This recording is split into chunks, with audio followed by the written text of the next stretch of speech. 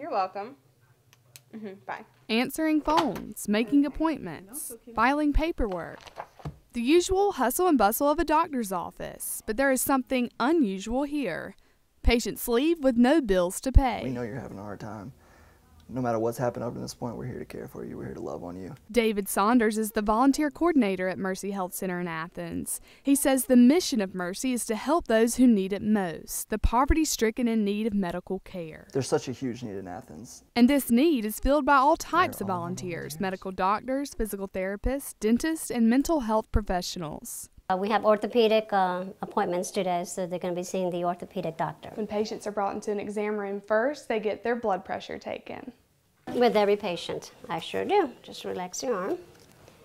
I'll go ahead and take it. Mercy even has its own pharmacy that provides free medications to patients. Every month, Athens Regional Hospital is um, generous enough to give us a $2,000 stipend of drugs. So at the beginning of every month, I send them a report of what we need. We always keep um, specific drugs on hand all the time. The Affordable Care Act has become a household name for most Americans, but Saunders says that's a term that's just not accurate. It's called the Affordable Care Act, right?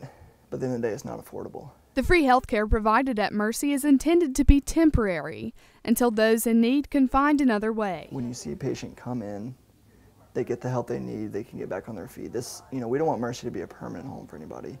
Mercy also sees and treats patients during the evenings in order to provide care to as many people as possible. Adeline Kennerly, Grady Newsource.